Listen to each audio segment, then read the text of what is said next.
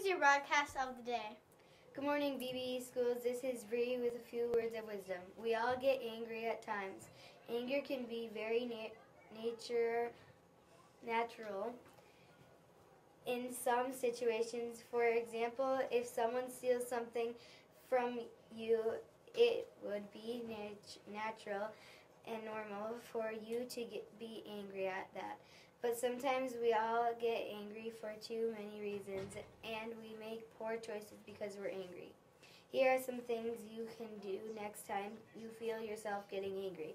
Take time out and count to 10. Try to understand that different people have different ideas. Speak quietly, don't swear.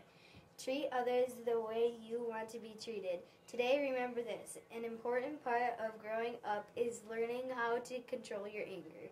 With something to think about, this is Bree. Make it a great day or not, the choice is yours. Please stand for the pledge. I pledge allegiance to the flag of the United States of America and to the republic for which it stands, one nation, under God, indivisible, with liberty and justice for all. Tomorrow's lunch is cheeseburger or taco salad.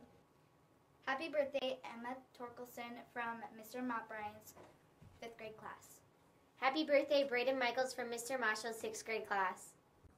Tomorrow's I Love to Read. Read a shirt day. Wear a shirt with words today. That was your broadcast of the day.